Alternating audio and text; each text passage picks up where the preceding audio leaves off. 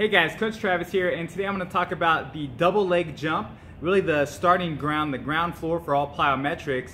Um, and the, our main focus is going to be the landing portion of every single jump. It's not so much how high we can jump or how far we can jump when we're first starting out.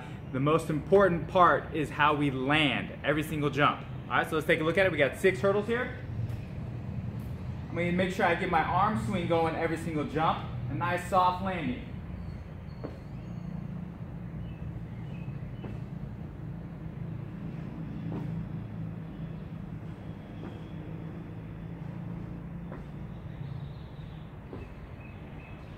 When I leave the ground, I want to make sure that I'm pulling my toes up off the ground so that I can prepare my ankle for the landing.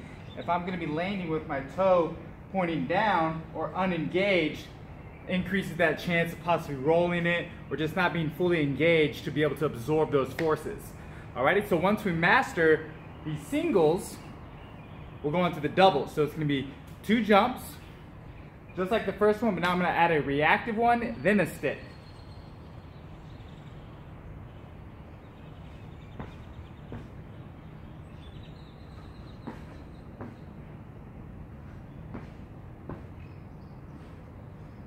So after we have those doubles, make sure you can stick it every single time, we'll move on to the triples.